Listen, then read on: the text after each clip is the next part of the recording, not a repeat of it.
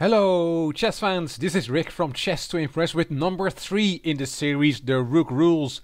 It is Wednesday and every Wednesday I show you a position where a rook plays an important role.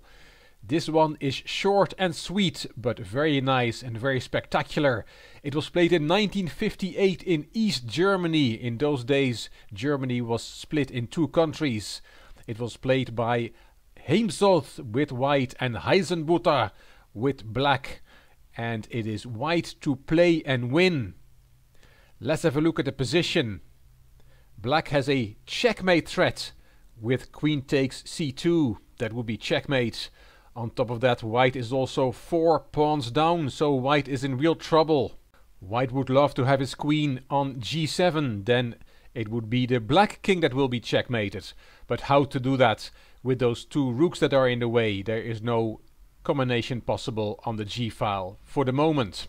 A move like queen g2 or rook back to g2 that protects the c2 square and there's no checkmate, but white is so much material behind that is not really an option. That's not a way for white to win the game.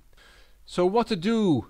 If you want to look for yourself, put a video on pause and have a look. It's quite a spectacular way that white can still win this position. He can do that by playing the rook from g5 to c5 and Mr. Heimsoth found it. What does that move do? Well, for starters it is protecting against the checkmate. The rook is protecting c2 through the queen. It's also attacking the queen. Black's queen is attacked. And finally it gets the white queen a bit closer to g7 to deliver checkmate herself because one of the rooks is now out of the way. What to do?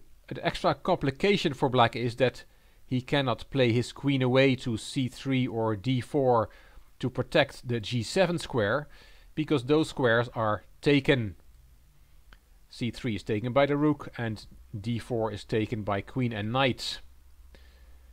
There's really no way out for black surprisingly. In the end Mr. Heisenbutter decided to take the rook and now you can find the mate in 2 from white. Do you see it?